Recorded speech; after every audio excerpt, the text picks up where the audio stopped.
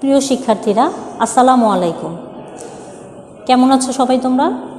বর্ণমালা আদর্শ উচ্চ বিদ্যালয় ও কলেজ কর্তৃক আয়োজিত আমাদের এই অনলাইন ক্লাসে সবাইকে জানাচ্ছি স্বাগত। আজকে আমি তোমাদের সাথে আছি সুফিয়া আক্তার। পড়াবো হচ্ছে বাংলা ব্যাকরণের একটা বিষয়, খুবই গুরুত্বপূর্ণ একটা বিষয়, শব্দের প্রকারভেদ। শব্দের প্রকারভেদ, আমরা জানি যে শব্দ কী। আমি যখন তোমাদের ভাষার ক্লাস করিয়েছি, ধ্বনির ক্লাস করিয়েছি, তখন দেখিয়েছি যে শব্দের গঠন কীভাবে হয়। এখন আজকে আমরা পড়ব শব্দের প্রকারভেদ। শব্দের প্রকারভেদ প্রথমে পড়তে গেলে আমাদেরকে দেখতে হবে যে শব্দ কি কি অনুযায়ী তার প্রকারভেদ হতে পারে। শব্দ তিন রকমের প্রকারভেদ হতে পারে। যেমন, গঠন অনুযায়ী প্রকারভেদ, উৎস অনুযায়ী প্রকারভেদ, গঠন অনুযায়ী প্রকারভেদ, আর হচ্ছে অর্থ অনুসারে প্রকারভেদ। উৎস মানে হচ্ছে জন্ম, অর্থাৎ শব্দের জন্ম যেখান থেকে সেটাকে বলা হচ্ছে হচ্ছে উৎস। এই উৎস অনুযায়ী শব্দকে পাঁচ ভাগে ভাগ করা হয়েছে। সেই নামগুলো আমি বিস্তারিত পরে আলোচনা করছি। গঠন অনুসারে শব্দ প্রকারভেদ হচ্ছে দুই প্রকার। গঠন অনুসারে শব্দকে দুই ভাগে ভাগ করা হয়েছে। এখান থেকে তোমাদের ছোট প্রশ্ন আসতে পারে। তখন তোমরা একটু খেয়াল করবে অবজেক্টিভ যখন আসবে, তখন একটু খেয়াল করবে যে কী অনুসারে শব্দের প্রকারভেদটা চেয়েছে। যদি বলে গঠন অনুসারে শব্দ কত প্রকার, তাহলে গঠন অনুসারে শব্দ হচ্ছে দুই প্রকার। একটা হচ্ছে মৌলিক শব্দ আর একটা হচ্ছে সাধিত শব্দ। আবার আসতে পারে অর্থ অনুসারে শব্দ কত প্রকার? অর্থ অনুসারে শব্দ হচ্ছে তিন প্রকার। যৌগিক শব্দ, রূঢ়ি শব্দ, আর হচ্ছে যোগরূঢ় শব্দ। আর উৎস অনুসারে শব্দ কত প্রকার? উৎস অনুসারে শব্দ হচ্ছে পাঁচ প্রকার। আজকে আমি বিস্তারিত আলোচনা করব হচ্ছে উৎস অনুসারে শব্দকে কয় ভাগে ভাগ করা হয়েছে? সেই টপিকস নিয়ে আলোচনা করছি। উৎস অনুসারে শব্দকে পাঁচ ভাগে ভাগ করা হয়েছে। তৎসম শব্দ, অর্ধতৎসম শব্দ, তদ্ভব শব্দ, দেশি শব্দ এবং বিদেশি শব্দ। তৎসম, কথাটার মানে কি? আমি ক্লাসে যখন তোমাদের ভাষা করিয়েছিলাম অনলাইন ক্লাসে একবার তোমাদের ভাষা করিয়েছিলাম, সেখানে একটা চার্ট দিয়েছিলাম যে আমাদের ভাষার গোষ্ঠীর একটা অংশ হচ্ছে ইন্দো ইউরোপীয় ভাষা। ইন্দো ইউরোপীয় ভাষাটার অনেক বড় একটা চার্ট ছিল যে এশিয়া এবং ইউরোপ দুটো দেশ মিলে কিছু ভাষা ব্যবহার করা হতো। সেই ভাষাটা পরবর্তীকালে দুইটা ভাগে বিভক্ত হয়ে যায়। একটা হচ্ছে কেন্তম আরেকটা হচ্ছে শতম এই কেন্তম ভাষা থেকে বিভিন্ন স্টেপ অনুযায়ী আমরা আমাদের বাংলা ভাষাটাকে পেয়েছি। যারা ক্লাসটা দেখনি, এখনও আমাদের ইউটিউব চ্যানেলে আছে, ওটা দেখে নেবে। সেখানে আমি দেখিয়েছিলাম যে সংস্কৃত শব্দটা সংস্কৃত তখন বলেছিলামও কিন্তু যে সংস্কৃত শব্দটা, এটা কোনোটার সাথে ভাগ হয়নি। সংস্কৃত যে ভাষাটা, সেটা কোনোভাবে ভাগ হয়নি এবং সেটা সম্পূর্ণ আলাদা একটা অবস্থায় আছে। কেন আছে? কারণ সংস্কৃত অনেকগুলো শব্দ আমাদের শব্দ ভাণ্ডারের ভিতরে এসে ঢুকে গেছে। বুঝতে পেরেছ? বাংলা ভাষার শব্দের যে একটা ভাণ্ডার থাকে, প্রত্যেক দেশেরই শব্দ ভাণ্ডার থাকে, সেই শব্দ ভাণ্ডারের বা একশো পার্সেন্ট শব্দই কিন্তু টোটালি বাংলা ভাষা বা যে কোনো ভাষারই একশো পার্সেন্ট শব্দই কিন্তু তাদের হয় না। কি করে? কিছু শব্দ অন্য জায়গা থেকে আসে। ঠিক সেরকমভাবে আমাদের বাংলা ভাষার শরীর গঠিত হয়েছে হচ্ছে তৎসম, অর্ধতৎসম আর তদ্ভব শব্দ দিয়ে। প্রায় ছিয়ানব্বই পার্সেন্ট শব্দ আমাদের এই তিনটা ভাগ থেকে এসেছে আর বাকি চার পার্সেন্ট শব্দ দেশি এবং বিদেশি। এখন আসি সংস্কৃত শব্দটা আসলে কি? সংস্কৃত মানে হচ্ছে তৎসম আর সংস্কৃত একই জিনিস। সংস্কৃত যা, তৎসমতা। তৎসমকে সংস্কৃত শব্দ বলা হয়, আবার সংস্কৃতকে তৎসম শব্দ বলা হয়। এখন আসলে যে তৎসম শব্দটাকে তৎসম। কথাটাকে যদি আমরা ভাঙি, তাহলে আমরা পাই তৎ। তৎ অর্থ হচ্ছে তার। আর সম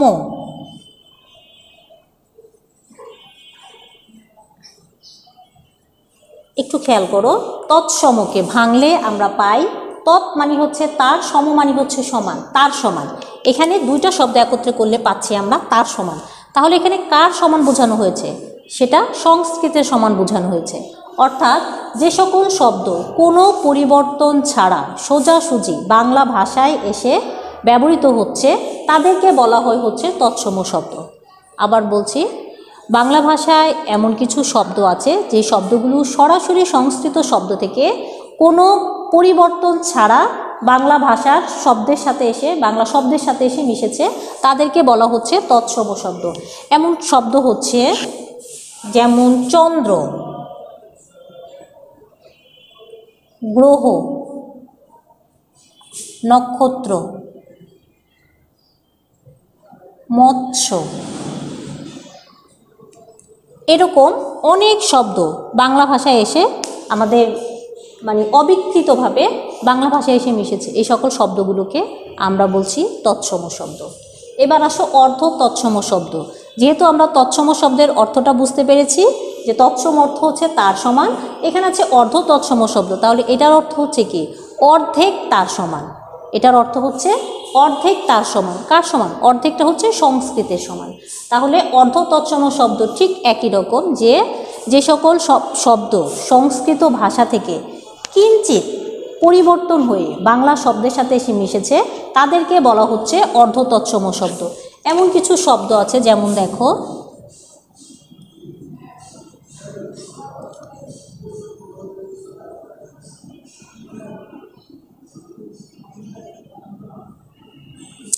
গিন্নি, সংস্কৃত শব্দ।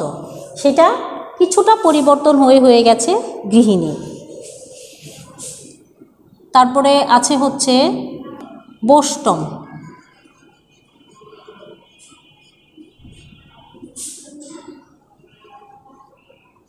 বোষ্টপ থেকে হচ্ছে গৃহিণী, গিন্নি, বোষ্টম থেকে হচ্ছে বৈষব ঠিক আছে? জোছনা থেকে হচ্ছে জোছনা, ঠিক এইরকমভাবে। তাহলে যে সকল শব্দ কিছুটা পরিবর্তন হয়ে বাংলা ভাষায় এসে মিশেছে, তাদেরকে বলা হচ্ছে অর্ধ তৎসম শব্দ। আর তদ্ভব শব্দগুলো কি? তদ্ভব শব্দগুলো হচ্ছে যে সকল কিছু সংস্কৃত শব্দ, কিছু সংস্কৃত শব্দ যার মূল পাওয়া যাচ্ছে সংস্কৃততে কিন্তু এটা প্রাকৃতের মাধ্যমে, প্রাকৃত ভাষার মাধ্যমে বাংলা ভাষায় এসে মিশেছে, তাদেরকে বলা হচ্ছে তদ্ভব শব্দ। আবার বলছি তদ্ভব শব্দগুলো, এর মূলটা পাওয়া যাচ্ছে হচ্ছে কোথায়? সংস্কৃত শব্দে। কিন্তু এটা প্রাকৃত ভাষার মধ্য দিয়ে শব্দগুলো পরিবর্তন হয়ে বাংলা ভাষায় এসে মিশেছে, তাদেরকে বলা হচ্ছে, বাংলা শব্দে এসে মিশেছে, তাদেরকে বলা হচ্ছে তদ্ভব শব্দ। যেমন দেখো এরকম শব্দ কি আছে? মৎস্য। এটা হচ্ছে সংস্কৃত শব্দ। প্রাকৃতরা ব্যবহার করত মৎস্য। বাংলায় এসে হয়ে গেছে মাছ। আবার চন্দ্র। চন্দ্র প্রাকৃতরা ব্যবহার করত চন্দ। বাংলায় হয়ে গেছে চাঁদ। ঠিক একইভাবে হস্ত। দেখো তদ্ভব শব্দটা তিনটা ই আছে। এটা হচ্ছে, এটা কি শব্দ? এটা হচ্ছে সংস্কৃত শব্দ। এটা হচ্ছে প্রাকৃত শব্দ। আর এটা হচ্ছে বাংলা। তাহলে আমরা দেখতে পাচ্ছি যে তদ্ভব শব্দটা কি?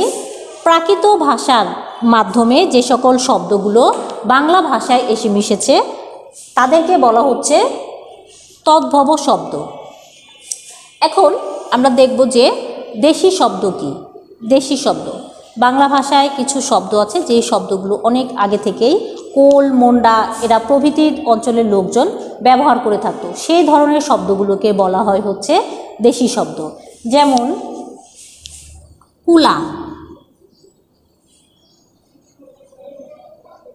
গঞ্জ। ঢেকি। ইত্যাদি। এই শব্দগুলো হচ্ছে দেশি শব্দ। তাহলে দেশি শব্দ কি? দেশি শব্দগুলো হচ্ছে বাংলা ভাষার কিছু শব্দ।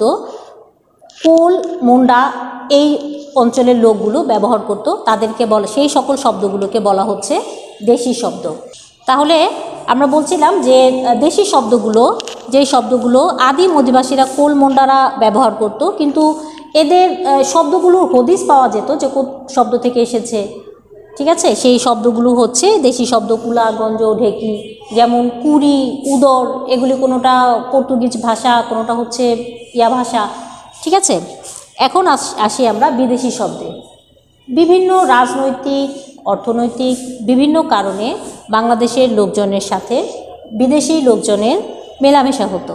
সেই কারণে অনেক বিদেশি ভাষার শব্দ আমাদের বাংলা ভাষায় এসে ঢুকে পড়েছে। সেই শব্দগুলোকে বলা হয় হচ্ছে বিদেশি শব্দ। আবার বলছি, রাজনৈতিক, অর্থনৈতিক, সামাজিক বিভিন্ন কারণে বিভিন্ন লোকজন বাংলা ভাষার সাথে এসে অনেক মিশেছে। সেই শব্দগুলোকে বলা হচ্ছে বিদেশি শব্দ। এখন তোমরা বিদেশি শব্দ পড়তে গেলে দেখবে তোমাদের এই টপিক্সটা শুধুমাত্র উৎস অনুযায়ী শব্দের প্রকারভেদটা তোমরা হচ্ছে ফার্স্ট চ্যাপ্টারে পাবে। ফার্স্ট চ্যাপ্টারে পাবে, সেই চ্যাপ্টারের মধ্যে দেয়া আছে যে অনেকগুলো শব্দ এবং ওইখান থেকে তোমাদের এমসিকিউ কোশ্চেন আসে যে অনেকগুলো শব্দ আছে বিদেশি, যে শব্দগুলো কোন ভাষা থেকে আগত? এটা তোমাদের মনে রাখা সম্ভব হয় না। আমি একটা সহজ কৌশল তোমাদের দেখানোর চেষ্টা করব, যার সাহায্যে তোমরা এই জিনিসগুলো, শব্দগুলো কোন ভাষা থেকে এসেছে সেটা যেন খুব সহজে তোমাদের বোধগম্য হয়।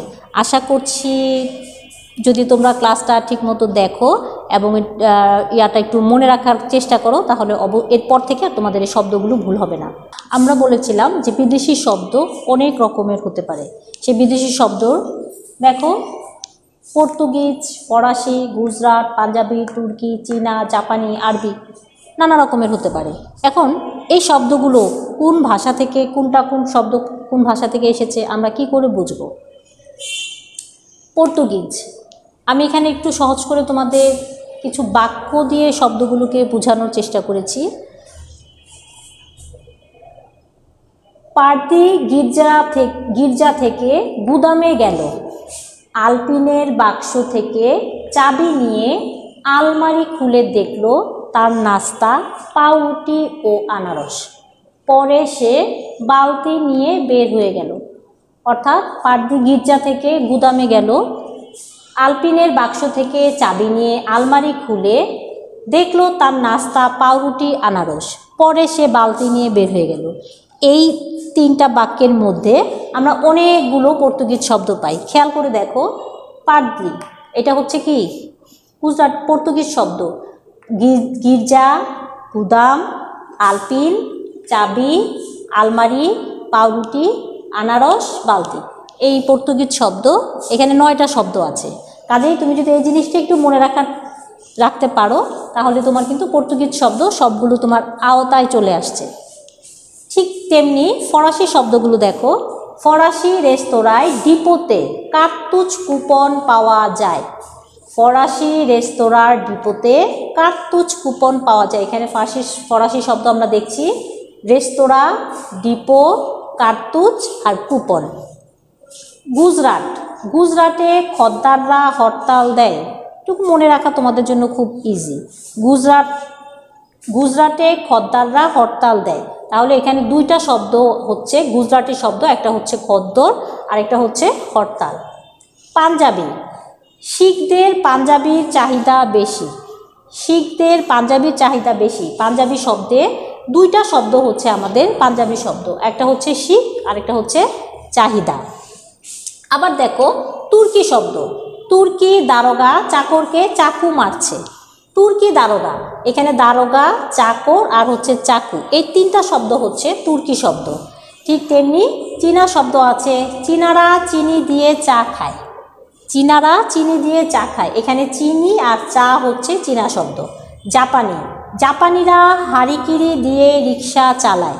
জাপানিরা হারিকিরি দিয়ে রিক্সা চালায়। এখানে হারিকিরি আর হচ্ছে রিক্সা। এই দুইটা শব্দ হচ্ছে জাপানি শব্দ। এই শব্দ, এই জিনিসটা প্রায় আসে যে রিক্সা শব্দটা কোন ভাষা থেকে আগত? রিক্সা শব্দটা হচ্ছে জাপানি ভাষা থেকে আগত। আরবি। আদালতের এজলাসে উকিল কলম ও দোয়াত বাকিতে বিক্রয় না করে নগদ বিক্রয় করার রায় দিলেন। সিম্পল একটা বাক্য, এটা তুমি যদি মনে রাখতে পারো, তাহলে তোমার কি হবে? অনেকগুলো আরবি শব্দ তুমি তোমার আওতায় চলে আসছে। যেমন, আদালত, এজলাস, উকিল, কলম, দোয়াত, বাকি, নগদ, রায়, এই শব্দগুলো হচ্ছে আরবি শব্দ। বুঝতে পেরেছ শিক্ষার্থীরা? এরপরে আমাদের আছে হচ্ছে ফার্সি শব্দ। দেখো, ফার্সি শব্দ অনেকগুলো। খোদা বলেন, নামাজ ও রোজা আদায় না করলে বান্দার গুণা হবে। এতে ফেরেশ তারা তাকে বেহেস্তে না পাঠিয়ে দোজকে পাঠাবে। দেখো, কত সহজ জিনিস যে খোদা বলেন, নামাজ ও রোজা আদায় না করলে বান্দার গুণা হবে এবং ফেরেশতারা তাকে দোজকে না পাঠিয়ে বেহেস্তে না পাঠিয়ে দোজোকে পাঠাবেন। এখানে সব ফার্সি শব্দগুলো দেখো। খোদা, নামাজ, রোজা, বান্দা, ফেরেশতা বেহেস্ত ও দোজক আমরা আরও কিছু ফার্সি শব্দ দেখি। যেমন দেখো, দশ তারিখে বেগম বাদশাহের দরবারে দৌলত ও মেথরের বিরুদ্ধে চশমার দোকান থেকে, চশমা তোষকের কারখানা থেকে তোষক চুরি করার নালিশ দিলেন। এখানে ফার্সি শব্দগুলো কি?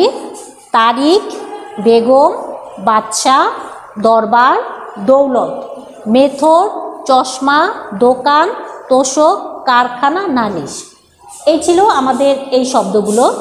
আমি আশা করছি যে আজকের ক্লাসটা তোমাদের এই শব্দগুলো শেখাতে খুবই মানে উপকার হবে। যদি তোমরা সঠিক নিয়মে, সঠিকভাবে ক্লাসটি করে থাকো। আজকে এই পর্যন্তই, শিক্ষার্থী বন্ধুরা। আমি এখানে বিদায় নিচ্ছি। আগামী ক্লাসে আবার তোমাদের সাথে দেখার আমন্ত্রণ থাকল। ধন্যবাদ সবাইকে।